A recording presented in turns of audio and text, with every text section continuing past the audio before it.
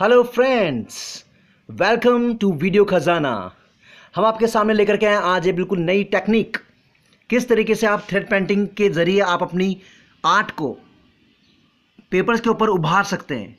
देखिए पेंटिंग का थोड़ा सा नज़ारा।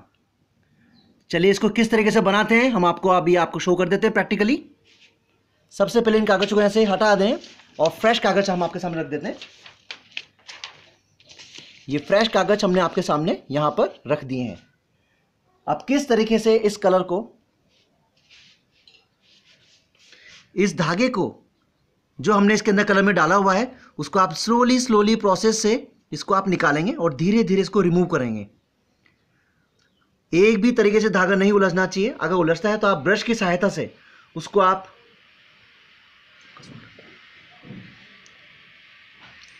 धागा बिल्कुल इजीली प्रोसेस से निकलना चाहिए। बहुत ही स्लोली स्लोली प्रोसेस से। क्योंकि सारी टेक्निक इस धागे के अंदर ही है। आप धागे को निकालते जाएँ निकालते जाएँ बिल्कुल स्लोली प्रोसेस से।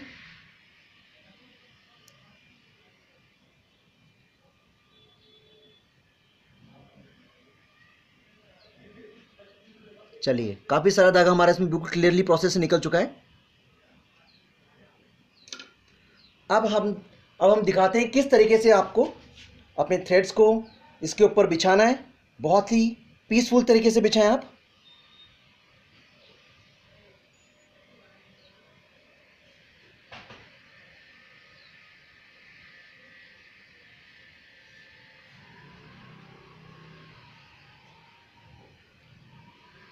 बहुत ही इजी वे में आपने इसको थ्रेड्स को अपने यहाँ पर बिछा दिया है।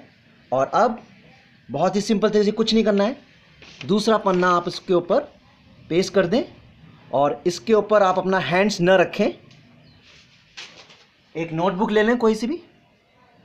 इस तरीके से अब उसको रखें और जो धागा एक्स्ट्रा जो निकला हुआ था, उसको आप स्लोली स्लोली प्रोसेस से अपने हाथ से रिमूव कीजिए।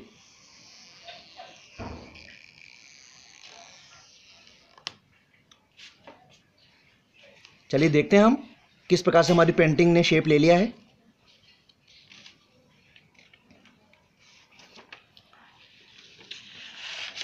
वाह what a beautiful painting is here देखिए, कितना अच्छा लुक आया पेंटिंग का। है ना कमा की चीज़, दोस्तों? आज ही हमने पेंटिंग सीखी है। पेंटिंग दिखाई हमने आपको किस तरह से बनाया जाता है। अगर आपको ये वीडियो पसंद आया हो तो प्लीज़ इसको सब्सक्राइब कीजिए। Video Khazana. Bye Arif Ansari okay bye friends thank you